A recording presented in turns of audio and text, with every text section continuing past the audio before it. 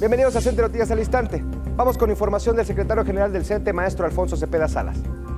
En vísperas de la renovación de dirigencias seccionales, el secretario general del CENTE, maestro Alfonso Cepeda Salas, aseguró que los procesos serán ejemplares en cada sección sindical en todo el país.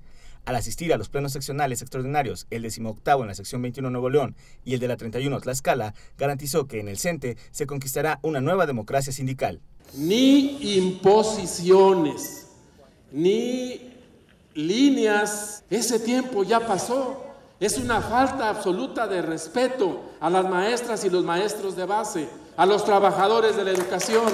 Estamos preparados, estamos preparados para elegir libremente a nuestros dirigentes. No más casicazgos, de no más maximatos en este sindicato.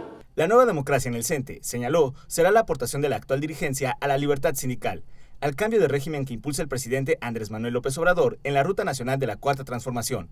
En su oportunidad, los dirigentes de la sección 21 Nuevo León, profesor Guadalupe Adolfo Salinas Garza, y de la 31 Tlaxcala, profesor Demetrio Rivas Corona, por separado refrendaron que ni el Centro Nacional ni las secciones permitirán que se vulnere o atente contra la unidad sindical.